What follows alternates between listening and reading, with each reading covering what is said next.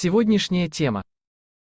Дженнифер и Бен пересеклись в 2002 году на съемках фильма «Джилли», мелодраме о гангстере-неудачнике Джилли и его временной работодательнице по имени Рики.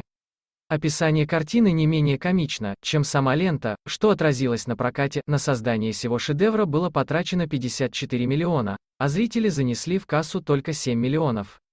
За подобное достижение критики даже присудили фильму «Золотую малину». Однако в истории проект остался прежде всего как связующее звено между Джейло и Беном. Сыграв любовников на большом экране, они не смогли оторваться друг от друга и в реальной жизни. Смотрим фото сладкой парочки в галерее, после Джилли последовал не менее провальная девушка из Джерси, в этот раз Дженнифер и Бен сыграли супругов, прибыли она не принесла, зато вновь отметилась целыми тремя золотыми малинами. Впрочем, зрителям не в кино было интересно ходить, а обсуждать личную жизнь актеров, ведь оба были заядлыми сердцеедами. Аффлек успел покрутить романы с Сандрой Буллок и Гвинет Пелтроу, а горячая латиноамериканка дважды побывала в коротких браках и взбудоражила общественность ярким романом с рэпером Шоном Компсом. Собственно, он и придумал ей емкое прозвище «Джейло». Опыт на любовном фронте у них имелся, и, похоже, артисты были готовы к созданию семьи и прочного брака.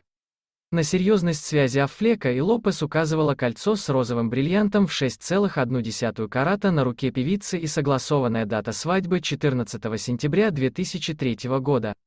Как бы фанаты не любили пару, которую ласково прозвали «Бенифер», внутри самого Союза назревал конфликт, проиллюстрировать который сумел клип Джейло Дженни «From the Block». В песне поется о душевной простоте Лопес, мол, слава ее ничуть не изменила, она все та же девчонка, с района. Тем не менее, даже на кадрах ролика, создающих впечатление, что за Дженнифер и ее возлюбленным постоянно подглядывают папарацци, видно, как исполнительница ловит их внимание и улыбается в камеру случайного фотографа. Вот сам клип, в отличие от своей избранницы, Бен к началу нулевых устал от всеобщего интереса.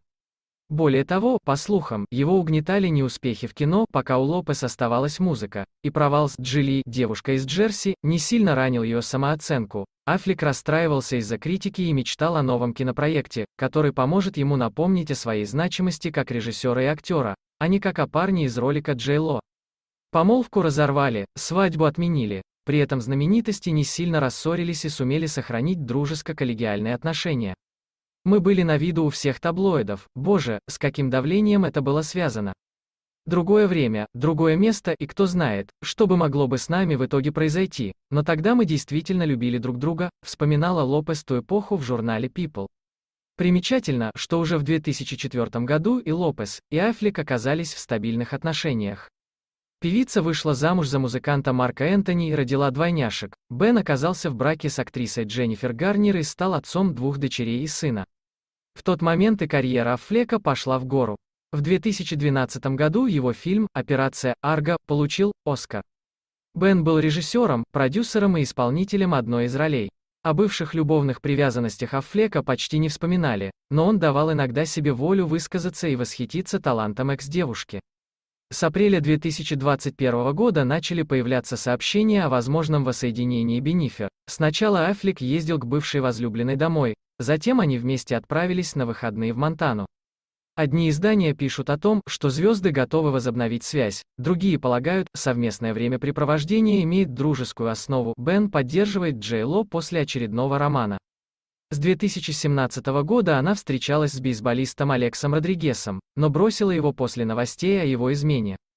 Мы, разумеется, не понимаем, как такой красотке, да и любой любящей и верной женщине, можно изменить. Вот горячие снимки Джей Ло из ее инстаграма. Впрочем, и у Бена накопились проблемы, которые можно разобрать на сеансах. С Лопес после развода с Гарнер он лечился от алкогольной зависимости и почти год демонстрировал чувства к восходящей латиноамериканской звезде Ане де Армас. Но и этот роман закончился тяжелым, для актера, разрывом. Кстати, среди фанатов популярной пары из нулевых числится и Мэтт Деймон, закадычный друган Бена. Во время американского телешоу Тадеон заявил, что сам пока не в курсе, насколько правдива информация о реюнионе, но он любит их обоих и надеется на их воссоединение. Как построить гармоничные отношения?